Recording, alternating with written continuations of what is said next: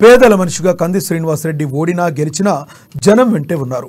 వారి కష్ట సుఖాల్లో పాలు పంచుకుంటూ తానున్నాననే ధైర్యాన్ని ఇస్తున్నారు. అందులో భాగంగానే జేనద్ మండలం ఆకూర్ల గ్రామంలో నిక్కం పుష్ప ఇటీవల అనారోగ్యంతో చనిపోవడంతో వారి కుటుంబ సభ్యులను పరామర్శించి ఓదార్చారు.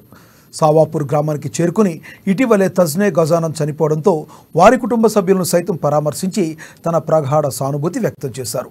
అలాగే పెండ్యాలవాల గ్రామంలో జైపాల్ ఇటీవల అనారోగ్యంతో మృతి చెందడంతో విచారం వ్యక్తం చేశారు. వారి కుటుంబ సభ్యులను పరామర్శించి మరణానికి గల కారణాలు అడిగి తెలుసుకున్నారు. అనంతరం అదే గ్రామంలో ముకుంద్ పట్వారి కుమారుడు బేరా నరేష్ అనారోగ్యంతో చనిపోవడంతో వారి కుటుంబ సభ్యులను పరామర్శించి ఓదార్చారు. కాపురి గ్రామానికి చేరుకుని తిప్పిరెడ్డి కేశవరెడ్డి ఇటీవల చనిపోవడంతో కుటుంబ సభ్యులను పరామర్శించారు. మనోధైర్యం కోల్పోవద్దని సూచించారు. అదేవిధంగా కోర గ్రామంలో సర్పంచి అడ్డి లతారెడ్డి ద్విచక్ర వాహనం మీద నుండి కిందపడి గాయాలు కావడంతో పరామర్శించి ఆరోగ్య పరిస్థితిపై ఆరా తీశారు. త్వరగా కోలుకోవాలని ఆకాంక్షించారు. బేల మండలం పాటన్కు చెందిన పోచన్నతో పాటు ఏనుగు రామప్ప ఆరోగ్యానికి గురికా అనారోగ్యానికి గురి కావడంతో ఇరువురిని వేర్వేరుగా పరామర్శించారు.